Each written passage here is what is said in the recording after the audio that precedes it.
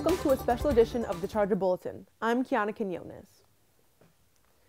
After the death of journalist Jamal Khashoggi in the Saudi consulate in Istanbul, Turkey, there has been controversy surrounding the University of New Haven and its relationship with the King Fahd Security College in Saudi Arabia. According to Newsweek, Salah Mohammed Al Tubaigy, who was a board member at the Security College, was involved in the dismemberment of the Saudi journalists. University officials report that Al Tubaigy was not affiliated with the Security College. We sat down with President Steven Kaplan to talk about the future of the university and its relationship with the college once the investigation ends.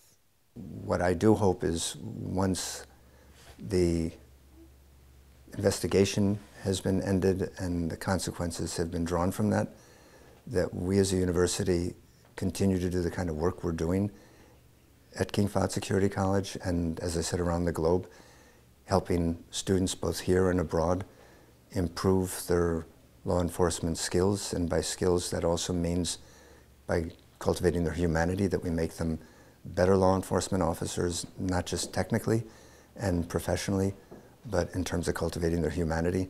And I think we do a very good job of that. And I think the more of that we can do around the world to enhance the sense that law enforcement goes beyond enforcing the law, but enforcing our relationship to one another and making sure that as a global society, we are focused on improving what we do for one another and how we treat one another.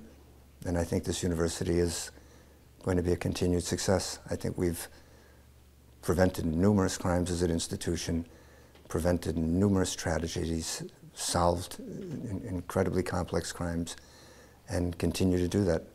We've helped tens, if not hundreds of thousands of victims. And as we go forward, I hope we can continue to do that among the many other things we do well in engineering and business and the sciences and so on. But in terms of what we're doing with King Fahd and what we do here and do so well, I hope we can continue to have that kind of an impact. As you mentioned before, there hasn't been much communication with the King Fahd Security College outside of regular communication. Um, and there also hasn't been any with students at the university outside of the media weighing in. Moving forward, how do you plan on keeping students informed? If there are any developments that I think students should know about, then absolutely. Of course, I did an interview with the Charger Bulletin. I answered quite a few of your questions. I know that gets out to students.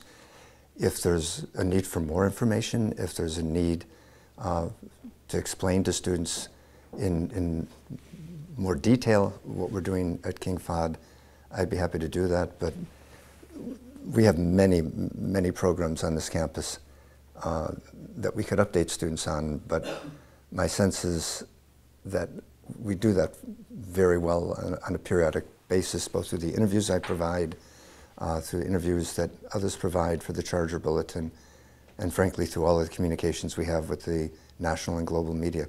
For all of us, as I said, there's much to be learned here and how far we need to develop our own humanity globally.